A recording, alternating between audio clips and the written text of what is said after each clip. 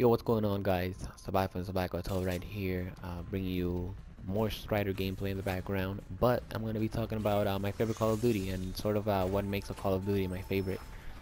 Uh, a lot of people um, always say, you know, you know, right out of the bat, that uh, their favorite Call of Duty is Call of Duty 4 or Modern Warfare 2, and then we sort of take it back, because then we start thinking about it.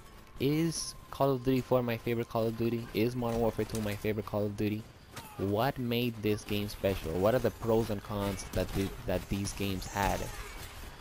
Am I really sure that this is my favorite Call of Duty game? So you know, then we start putting a lot of thought, uh, you know, into like what's our real favorite Call of Duty? You know, what's the Call of Duty that we love the most? And you know, then we pretty much sort of come up with a conclusion, or we come up with uh, pretty much the answer that uh, sometimes I would pick.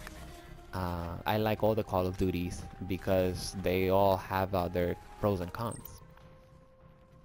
Now, honestly, for me, what makes uh, a good Call of Duty is it's just a couple of things. Number one, the maps. You know, uh, if the maps are not enjoyable to play in, uh, sort of like um, I'm gonna say Derail from Modern Warfare 2, or most of the maps in Ghost. You know, if uh, I don't like the maps honestly I'm not really gonna be having that much fun with the game which leads me to my you know my second statement. I have to have fun with the game. You know if it's a uh, if it's a Call of Duty game that uh, I have no fun with then obviously you know common sense it's not gonna be my uh, favorite Call of Duty. Uh, so one the maps. Two if uh, if I have fun with the game. And uh, three you know the guns the guns play a huge part in Call of Duty. Uh, there has to be variety. You know what I mean? Uh, Modern Warfare 3 is my favorite Call of Duty. A lot of people agree with me. A lot of people disagree with me. But like I said, it's my favorite Call of Duty. It's not yours. Uh, but anyways, so yeah, Modern Warfare 3 is my favorite Call of Duty because of the variety of guns that it had. You know, G36, AK-47, CM901, PM9, MP5, UMP45, USAS-12, Dragunov, AS-50. A great variety of guns. M60. I could pretty much just go on and rant about Modern Warfare 3 for the whole day, but you know, I'm not gonna do that. My point is, um, I had a lot of fun in Modern Warfare 3, pretty much just using all the guns, you know. Uh, I'm actually working right now towards getting all of the guns gold in uh, Modern Warfare 3 and yeah I'm almost reaching that goal. Uh, but anyways my point the guns if there's only for example in the submachine gun category if there's only two SMGs that are good and out of eight assault rifles there's only two that are good assault rifles and out of uh, I don't know five light machine guns there's only two light machine guns that are good you know that doesn't really add variety to the game in my opinion and it sort of makes the game boring as I'm just going to be using the same guns over and over and over again. Uh, in Modern Warfare 3 the PM9 uh, submachine gun uh, not a lot of people use that submachine gun uh, because it had extremely uh, an, ex an extremely amount of recoil everybody pretty much said that that submachine gun was the worst but I was like Okay, I have tried the UMP-45, the MP7. I pretty much just used every submachine gun except the PM9. This submachine gun has to be good. Let's try it out. And then I found out that the gun with extended mags and rapid fire and steady aim is just a complete beast.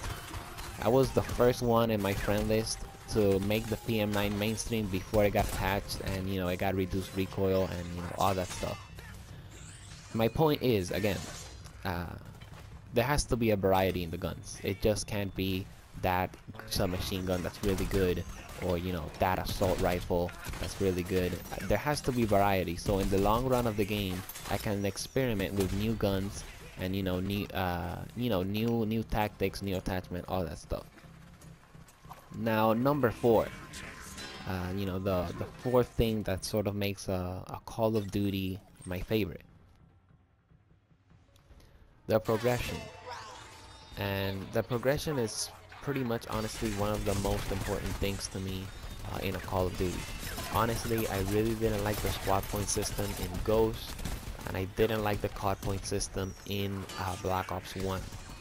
The reason for that is is because you know, let's take Modern Warfare 2 for example.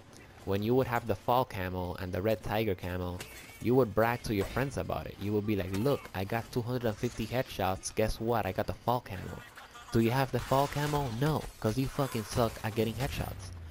You know, it's these little sort of uh, bragging rights that you get.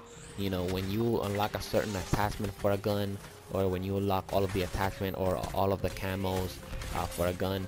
It's these sort of uh, achievements, you know, that make you feel like a badass in Call of Duty. And I feel like, you know, if you have the squad points and you don't have to work towards the attachment, that just makes the game less fun and less interesting. So definitely the, you know, the create a class system, I guess, uh, uh, or you know the progression however you want to call it that's definitely one of uh, the the small things you know that matter uh, for me you know for a Call of Duty to be my favorite if it has a good create a class system if I have to work for my stuff. Now the last and final thing that makes a Call of Duty my favorite. The customization. And by customization I don't mean you know that I can customize my soldiers to the max like in Ghost. Uh, by customization I mean bragging rights. Bragging rights customization. Like the titles and emblems in Modern Warfare 3 slash Modern Warfare 2 like for example the title to uh, you know kill somebody before they earn a 10 kill streak or the title to get 1000 headshots with uh, a specific gun or get 2500 kills with a specific gun. You want to show off to your friends and to people in the lobbies that you're a complete badass and that you earned those titles. So you're pretty much bragging, you know, with the call sign system that uh, Black Ops uh, 1 had. You know, honestly, I don't really see bragging rights there. You know, the, it's just a call sign uh, that you got for doing something. Uh, it doesn't even say anything. I don't know. Honestly, it didn't really make sense to me. It's all about the emblems and titles. Uh, for me, that's what gives you true bragging rights. Uh, but anyways, that's pretty much it, guys. Uh, if you guys haven't noticed yet, my favorite Call of Duty is Modern Warfare 3. Uh, I hope to see a lot of the things that I like about Modern Warfare 3 in Advanced Warfare. And the reason why I'm making this video is because I think Advanced Warfare might be my next new favorite Call of Duty. But we will see.